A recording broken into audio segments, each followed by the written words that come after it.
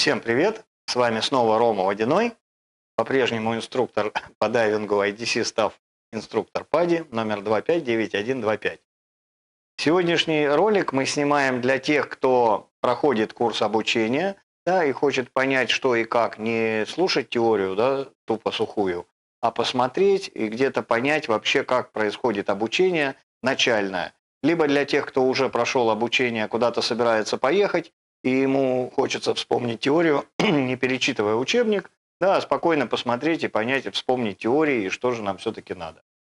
Ну и, собственно, тем, кто заинтересован в том, что, как это происходит вообще, и что ему придется пройти, если он захочет проходить и учиться. Давайте рассмотрим все-таки погружение, подводный мир, да, потому что э, под водой немножко по-другому происходят физические и физиологические процессы в организме, которые нам надо учитывать и знать для того, чтобы наш дайвинг был безопасным.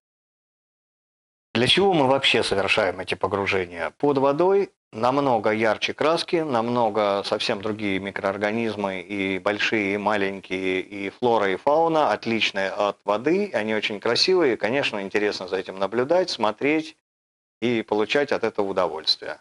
А, в одном из последующих роликов мы покажем погружение с большими рыбками, которые называются акулы, поэтому кто хочет посмотреть, кто не хочет пропустить, подписывайтесь на наш канал, с удовольствием ставьте лайки. Еще почему всегда прошу э, писать вас комментарии, потому что нам очень важно отслеживать обратную связь для того, чтобы мы понимали, интересно, неинтересно, где-то какие-то ошибки, что вам интересно, что снимать, а чтобы мы снимали не то, что интересно нам, а то, что интересно вам. Ну, немножко отвлекся, да, давайте все-таки поговорим про, при погружении. Мы погружаемся в воду. Вода в 800 раз плотнее воздуха. Поэтому на нас действует выталкивающая сила, э, потому что давление в воде выше, чем давление на поверхности. Вспомним закон Архимеда. Тем, кто его знал, тем, кто не знал, мы сейчас расскажем. Э, собственно, на тело, погруженное в жидкость или газ, действует выталкивающая сила, равная весу объема жидкости или газа, вытесненного частью тела, погруженной в воздух. Элементарный пример. Да? Возьмем с вами пенопластовый какой-нибудь кусочек пенопласта, да, или доски пенопластовой, возьмем с вами огромный корабль, контейнеровоз, который весит тысячи тонн, и возьмем маленький гвоздик. Положили гвоздик на воду, он утонул. Положили пенопласт, он плавает на поверхности. Огромный корабль, который, как я уже сказал, весит очень много, он почему-то не тонет. В чем же разница? Именно вот как раз здесь закон Архимеда и работает, и он нам нужен для того, чтобы мы могли поддерживать нейтральную плавучесть под водой. Могли поддерживать на воде положительную плавучесть, и когда нам надо погрузиться, у нас должна быть отрицательная плавучесть, чтобы мы уходили вниз. Понятие положительная плавучесть – это когда мы, предмет плавает на поверхности и не тонет. Нейтральная плавучесть – это когда предмет плавает в толще воды, он не тонет и не всплывает. И отрицательная плавучесть, когда предмет уходит на дно. Собственно, наша цель – научиться находить на любой глубине положение нейтральной плавучести, когда мы не всплываем и не тонем. Когда нам надо подняться на поверхность и выйти, мы приобретаем положительную плавучесть. Когда нам надо уйти с поверхности вниз, мы приобретаем отрицательную плавучесть, и достигнув заданной глубины, на которой мы хотим оставаться, мы за счет своих легких, мы за счет оборудования, которое на нас есть, мы придаем себе нейтральную плавучесть и на любой глубине падаем, плаваем, любуемся окружающим миром. При погружении в воду на нас действует давление, которое практически никак не оказывает влияния на наш организм, поскольку мы на 80% состоим из воды. Но у нас есть воздушные полости, это вот здесь лобные пазухи, гайморовые пазухи, это уши и это наши легкие на которые давление оказывает свое воздействие. А, с легкими все проще. Мы вдыхаем газ из баллона, и поэтому мы давление можем выровнять. А вот именно на уши, на вот эти воздушные пространства действует давление, поэтому мы должны всегда обязательно при погружении давление выравнивать. Как это делается? Зажимается нос, и мы выдыхаем в нос. Вот попробуйте, и вы почувствуете, как у вас раз ушки пшикнули, это вот мы как раз выровняли давление. На поверхности у нас давление равняется одной атмосфере. Это условно вот давление, которое есть, условно принято за одну атмосферу. При погружении на 10 метров, на каждые 10 метров добавляется еще одна атмосфера. Поэтому на глубине 10 метров давление уже 2 атмосферы, на глубине 23, на глубине 40 5 атмосфер, но, соответственно, мы должны просто выравнивать давление, ничего с нами не произойдет. Почему я рассказываю именно до 40 метров? Данная а, глубина является максимальной в нашем любительском дайвинге, в рекреационном. Вообще, курс Open Water подразумевает после момента сдачи всех экзаменов, сдачи четырех погружений в открытой воде, получение сертификата, если это взрослый старше 15 лет, до 18 метров, если это ребенок от 10 до 12 лет, то ему такой сертификат Junior Open Water позволяет погружаться до 12 метров. В чем разница, в чем различие, что надо четко знать. А, при достижении вот этой глубины давление увеличивается, поэтому мы выравниваем давление, но при этом во столько раз увеличивается давление, во столько же раз изменяется, уменьшается объем воздуха. Для чего нам это надо знать? А у нас в баллоне, допустим, ну, стандартный баллон для дайвинга, он 12 литров. Он забит до давления 200 атмосфер.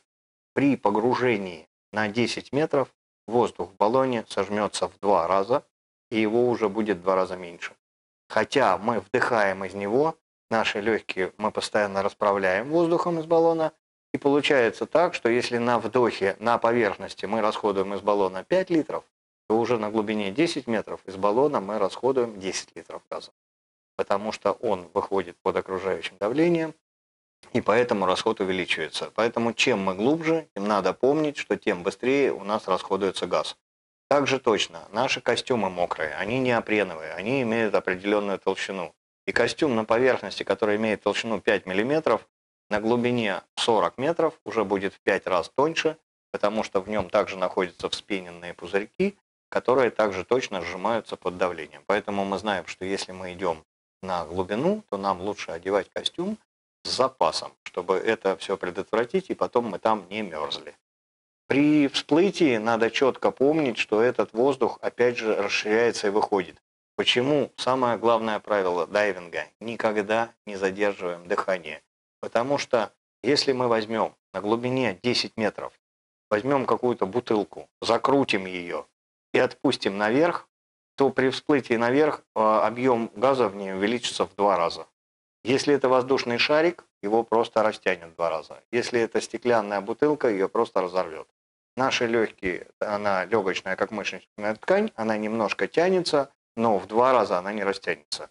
Если мы не задерживаем дыхание, а все время делаем либо вдох, либо выдох, то даже на вдохе расширяющийся воздух через дыхательные пути выходит, и никаких проблем у нас не будет. Поэтому надо просто четко помнить. Никогда не задерживаем дыхание. Либо вдох, либо выдох. Когда мы идем вниз, воздух, легкие наши сжимаются, но мы добавляем воздух из регулятора, из которого дышим, и они расправляются снова до полного размера. А вот когда мы всплываем, воздух расширяющийся выходит. Здесь некоторые начинают бояться, что «О, я сейчас случайно задержу дыхание, я забуду, и у меня будут проблемы с легкими». Не переживайте, не забудете, у нас во рту регулятор, и рот у нас открыт. Случайно задержать дыхание у вас не получится. У вас во рту регулятор, поэтому любой расширяющийся воздух, даже если вы делаете вдох, спокойно выйдет наружу, никаких проблем не будет. Почему нельзя превышать скорость всплытия? Ну, давайте рассмотрим простой очень пример. Бутылка шампанского. Да? А, при подъеме с глубины на поверхность у нас давление падает. Когда какой-то газ, помещенный под давлением, а, ну, в какой-то предмет, в бутылку в данном случае с шампанским. Если мы резко изменили давление, то этот газ, вы видели, когда, если открыли бутылку шампанского, резко вылетает этот газ на поверхность.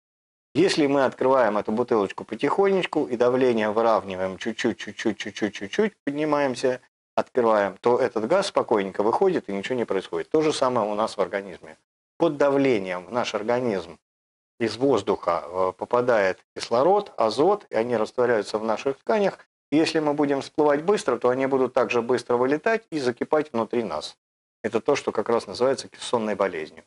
Если мы всплываем медленно, тихо, спокойно, эти пузыречки также точно спокойно через, э, э, через нашу кровь, через альвеолки, это микроскопические сосудики на легких, выходят через наши легкие, мы спокойно их выдыхаем и никаких проблем. Поэтому скорость всплытия тоже имеет свои ограничения. И очень легко запомнить, Open Water Diver до 18 метров ныряет, скорость всплытия не должна превышать 18 метров в минуту. То есть вам с 18 метров спокойненько можно всплыть за одну минуту, и при этом вы ничего не нарушите и не получите никаких проблем. Абсолютно нормально, тихо и спокойно. Важный момент. А, любые заболевания, связанные с перепадом давления, независимо от того, это когда мы погружались на что-то с ушами, или когда мы всплываем, да, у нас из-за какие-то проблемы из-за расширения давления, то есть это все называется баротравма. То есть бар – изменение давления, травма – это проблема.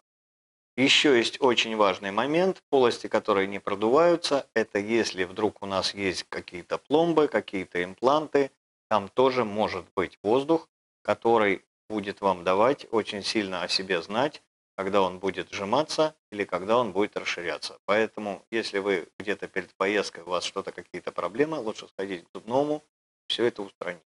Потому что реально, казалось бы, да что там маленький объем, да что там, сколько там того воздуха в зубе, ребята, боль будет такая, что продуться не сможем или всплыть не сможем. А это та воздушная полость, которую мы никак не можем продуть.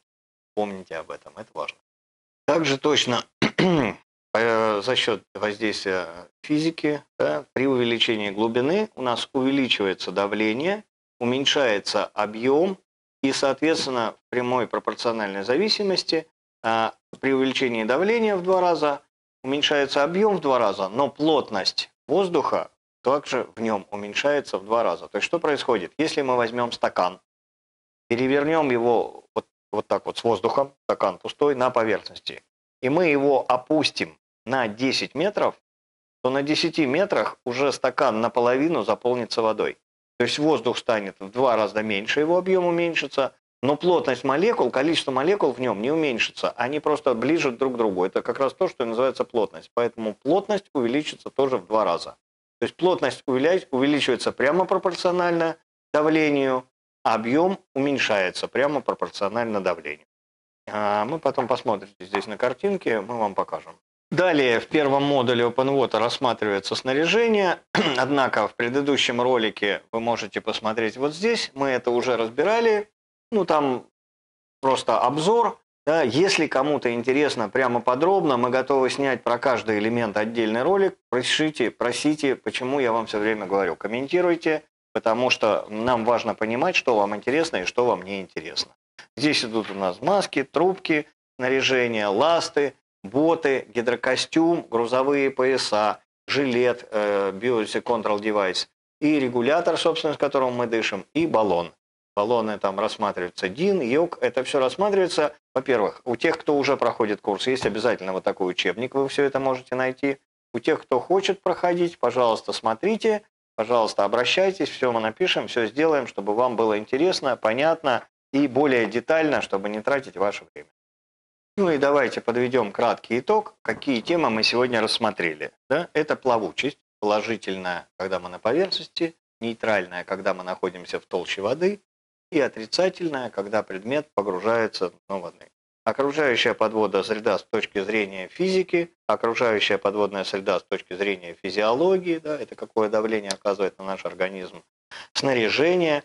И еще очень важный момент – это система бади-партнерства, в любительском дайвинге мы никогда не погружаемся по одному, либо мы приехали в дайв-центр, ныряем с гидом, ныряем с группой, либо если вы вдвоем два сертифицированных дайвера, имеете сертификаты, которые вы получаете в конце обучения, вы имеете право взять в прокат снаряжение, приехать на любой водоем, там, где вы уже погружались. Если вы там еще не погружались, вам обязательно надо погружаться с тем человеком, который там уже погружался и знает местные условия, потому что там могут быть течения, и всякие разные непредвиденные обстоятельства в виде рыболовных сетей и всего остального. А система Body партнерства также еще для чего она нужна? Во-первых, это безопасность. Это всегда у вас запасной комплект снаряжения. Это у нас есть с собой основная ступень э, регулятора, из которой мы дышим, вторая, да, но у нас всегда на регуляторе есть еще также запасная вторая ступень, которая называется октопус в народе, да, это осьминог, вообще называется альтернативный источник воздуха. Она всегда выделена желтым цветом, по крайней мере, должна быть выделена, всегда она выделена, или находится на более длинном желтом шланге. А самая главная ее отличительная особенность, октопус всегда должен крепиться а вот здесь, вот в этом треугольнике, от подбородка до нижней части груди. Чтобы бади-партнер, это правило абсолютно всех систем в любой точке мира, чтобы бади-партнер или где-то человек, у которого есть проблема, и вдруг он увидел, что рядом есть человек, чтобы он знал, где искать октопус. Вот. Итак, закон Архимеда, да, мы с вами разобрали.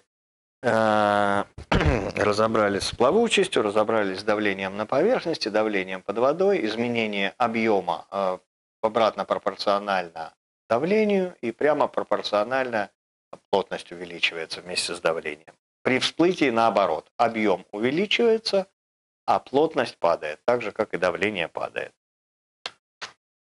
А, как еще продуваются уши? Самый основной способ в дайвинге – это вот мы зажали, у нас маска силиконовая, у нас нос под маской, для того, чтобы мы еще также могли выровнять давление, которое у нас под маской тоже воздух, и вода нам будет давить на маску. Поэтому мы носом выдыхаем под маску и выравниваем давление. Когда нам надо продуться, мы просто зажали нос и выдохнули. Второй способ выравнивания давления – это покачать вот так челюстью Здесь это именно физический способ, да, потому что челюсть просто упирается в барабанную перепонку и помогает расширяющемуся воздуху выходить, или когда воздух давит, также помогает нам выровнять давление. Третий способ – это сглатывание, это то, что мы всегда применяем в самолетах, потому что когда мы идем наверх, воздух расширяется, он выходит сам. А вот когда воздух давит снаружи, это, как правило, на самолете при посадке. А почему дают, надо воды попить, почему дают конфеты в самолетах, потому что когда мы сглатываем, также давление выравнивается. В дайвинге у нас сглатывать не получится физиологически, потому что когда у нас регулятор во рту, глотнуть у нас не получится. Такова физиология. Поэтому в дайвинге мы используем либо выдох в нос, либо вот так, либо смешанный. Попробовали, и тогда какой кому удобнее, у кого какая физиология, здесь тоже нету какой-то вот одного правила, нет только вот так. Как вам удобно, так и делайте. Самое главное, чтобы это было комфортно. А, собственно, давайте рассмотрим пример. Да, если мы э, взяли шарик воздушный, вот он на поверхности 5 литров надутый воздуха. Если мы опустились на 10 метров, то шарик сожмется, и в нем будет в два раза меньше, потому что давление в два раза больше, в нем будет 2,5 литра. Но если мы надуем в него под водой воздух да, из регулятора, и он снова станет 5 литров. Если мы его завяжем и отпустим на поверхность, то он, вероятнее всего, разорвется, потому что в нем воздух увеличится в два раза. Поэтому, еще раз повторю, никогда не задерживаем дыхание под водой. Либо вдох, либо выдох. Ну, про снаряжение я уже сказал, где смотреть, да, это мы рассказывали. Если надо что-то, смотрите, пожалуйста. Система бади-партнерства. Еще раз, почему это нужно? Во-первых, это запасное снаряжение. Во-вторых, это безопасность. Мы всегда проверяем снаряжение перед входом в воду друг у друга. Да? Сами мы не можем посмотреть, как там у нас затянут баллон сзади, или не попало ли у нас снаряжение под пояс куда-то, чего-то. Когда есть рядом бади-партнер, мы проверяем его снаряжение, он проверяет наше снаряжение. Ну и третье, помимо безопасности, это все-таки получение удовольствия. Очень часто бывает, что плывет группа, да, вышли на поверхность, проплавали, Четверо говорят, мы там видели и дельфинов, и акулу, и черепаху, и там все что угодно. А четверо говорят, а мы ничего не видим. А мы все пропустили. На самом деле, когда плывет черепаха, она не подплывает и не ждет. Это проплыв, там происходит там, погружение там, 5-10 секунд. Если кто-то в это время смотрел туда, а кто-то вон туда, один что-то увидел, второй нет. Или одна группа видела то, другая группа вот это видела. Бади-партнеры.